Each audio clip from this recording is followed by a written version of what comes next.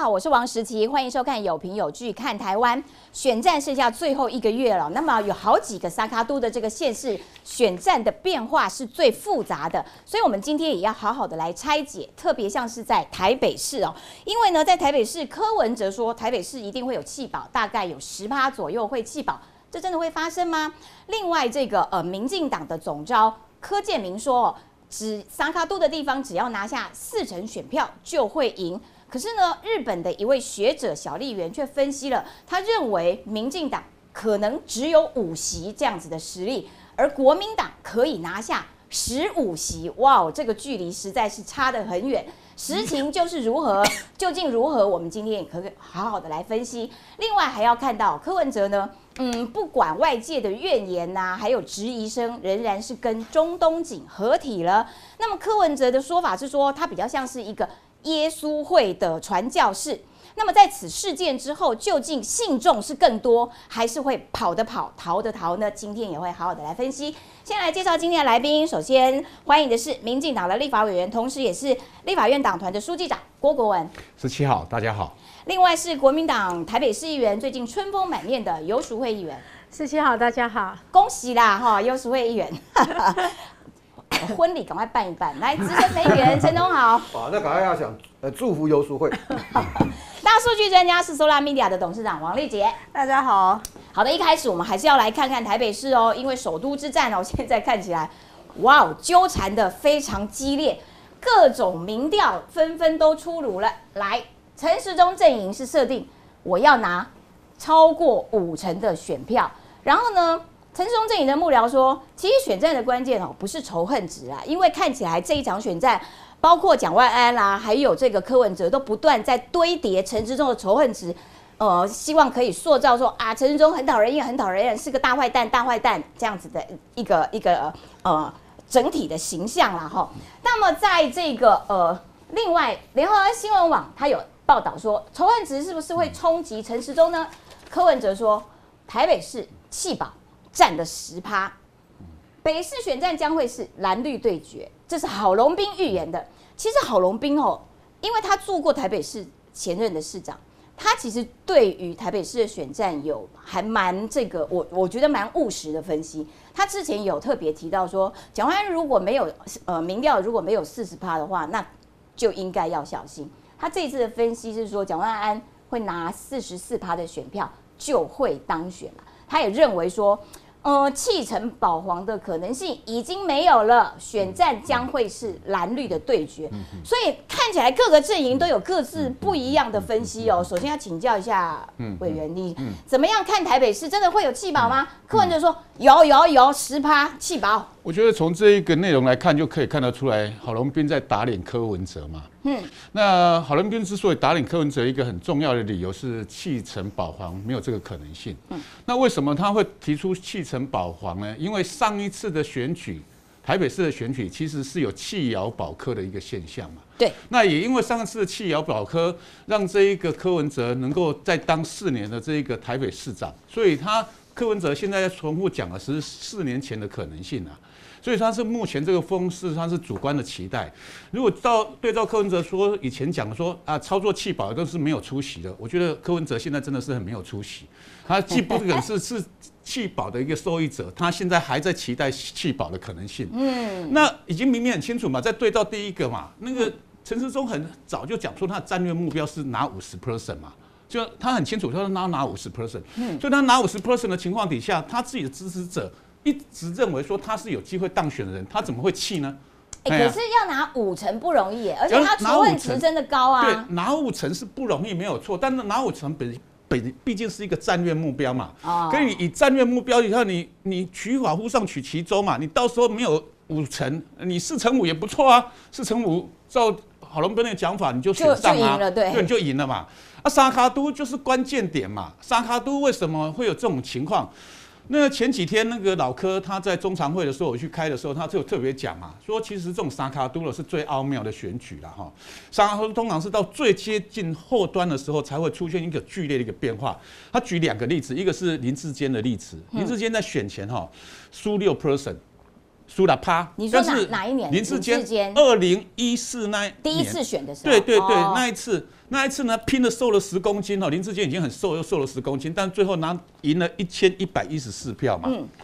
结果呢，后来他又举我当例子啊，对，因为我那时候二零一九对上那个呃那个谢龙介的时候，还有一个陈陈陈陈陈什么宇陈小宇的时候，我已经忘记他名字，不好意思，三个我一直很想记，不要忘记。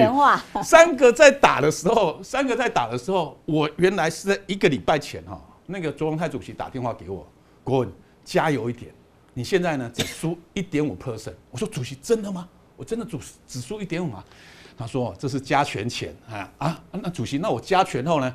加权后还输七点多，一个礼拜以前他这样跟我讲。啊，那时候那真的是你好厉害，一个礼拜一个礼拜前。冲七点五趴以上，真的真的，而且但是呢，后面的戏剧性的变化，就中间呢过了几天，在选前两天，选前两天，左主席又打电话给我了，嗯，郭文，你要加油，你现在已经赢二点一 percent 了。我说主席，这是加权前还是加权后？我跟你讲，这是加权后，这真的假的啊？怎么剧烈的变化那么哎，大？对，怎么会起伏这么大？老实讲，这个奥妙哈，我到现在以我本人来说，我探究了这么久，我立委已经待了快四年，我还是搞不清楚为什么变化那么大。但是综综合有几项因素啦哈，当初有啊那个赖赖赖副总统啊哈，还有陈水扁总总统的那个蔡总统也下去跟那个扁麻将等等综合因素，就在最后一个礼拜里头发酵，那对手有一些错误了，当然谢龙健那时候有文旦之乱的问题等等哦，综合在一起。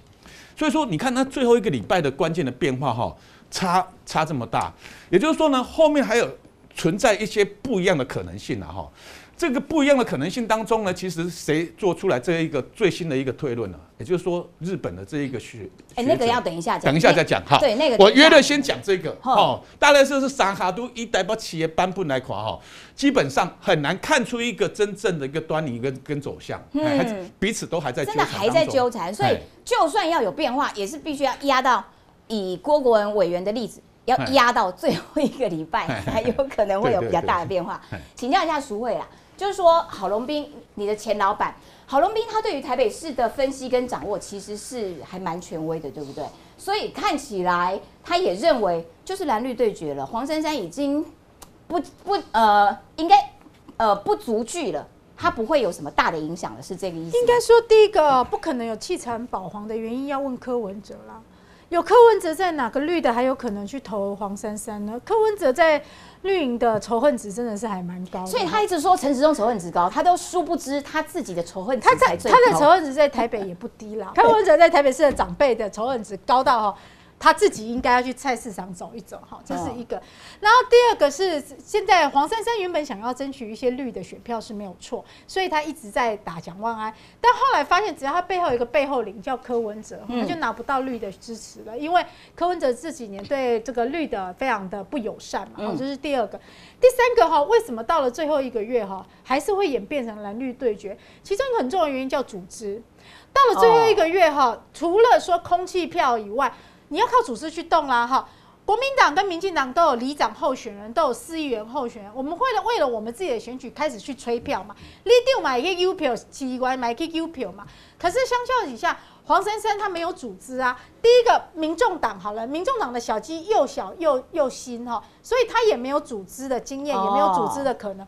再来是民众党的小鸡太少了，席次太候选人席次太少了。然后第三个是黄珊珊自己跟民众党都是保持一个若即若离的距离，所以他挂对五党籍。所以我们看到从这个很多份民调就可以看到，连民众党里面的支持者都只有大概六成多，不到七成是支持黄珊珊的。但是你反观蒋万安或陈时中，都各自拿到蓝绿阵营超过八成以上的支持度。也就是蓝绿归队了。那哦黄珊珊试图想要从中间选民哦，他现在想要打的是中间选民，他认为蓝跟绿加起来就是百分之四十或五十，他要独拿中间选民。但是这个想法实在太太太梦幻了，太天真了，因为三个候选人。都拿得到一些中间选民，只是或多或少而已，并不可能由他一个人独自拿。哦所以蓝绿有基本盘，然后蓝绿再去抢一些中间选民。可是黄珊珊过去的盘是靠从蓝的拉一些，从对绿的拉一些，当人家回去以后，他就没有了。他的那个基层的组织的抓地力其实是远远输给蓝绿两大阵营。我们要看下一张民调，因为你知道哦，民调多到满天飞。你看看哦，这是盖洛普的，这个是网络上面用手机简讯发送的，另外一个是 ET Today 的这个新闻云的民调，三份台北市的民调，这个第一名有蒋万安，有黄珊珊，有蒋万安，然后呢，黄珊珊呢也有第三名，也有第一名，也有第三名，然后陈时中倒是还蛮稳定，维持在第二名，所以现在黄珊珊一下第一，一下第三，那个震荡起伏相当之剧烈耶。要请教一下东豪，请问民调我们要怎么样子看，怎么解读啊？所以你看看，这是今天最新的啦，ET 可以今日民调。哎，那蒋万安四成了，安了，稳了，可以躺着选了吗？我我先讲一下四成代表什么意义啊？嗯，呃，蒋万比较容易到四成。我现在讲的不是民调的四成，是讲得票率的四成比较容易。为什么？为什么？在过去从二零一四、二二零一四、二零一八，还有二零二零，国民党的在台北市的得票率就是在四十到四十一点八一到四十二点零一。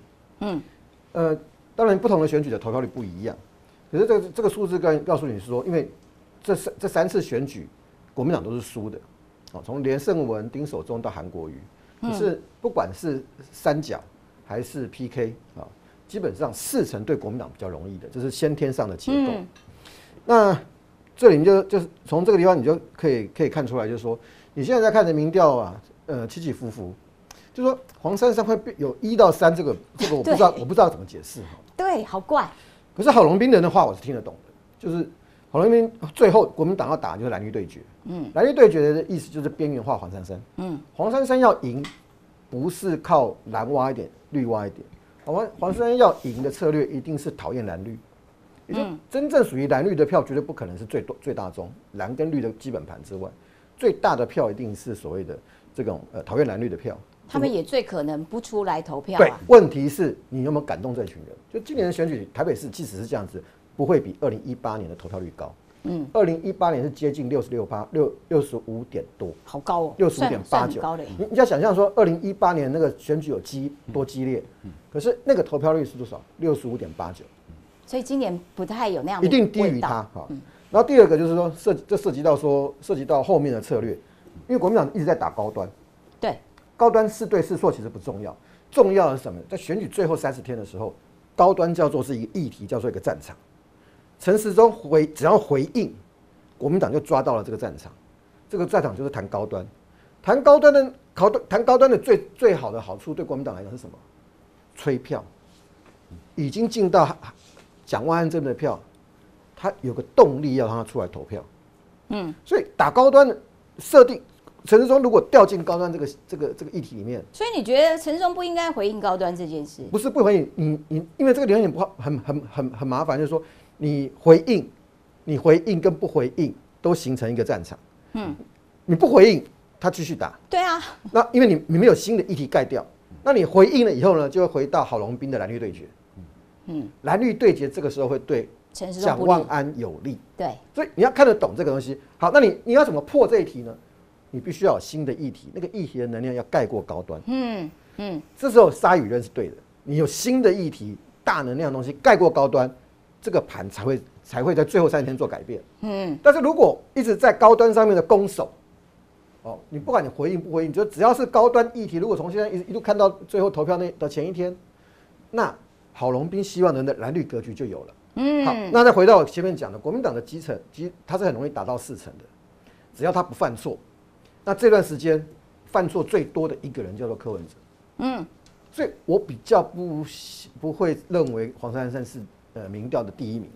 嗯嗯，因为你从你这样中对耶你从稣你从中东锦到水门啊，这一路下来，黄珊珊是消失掉了。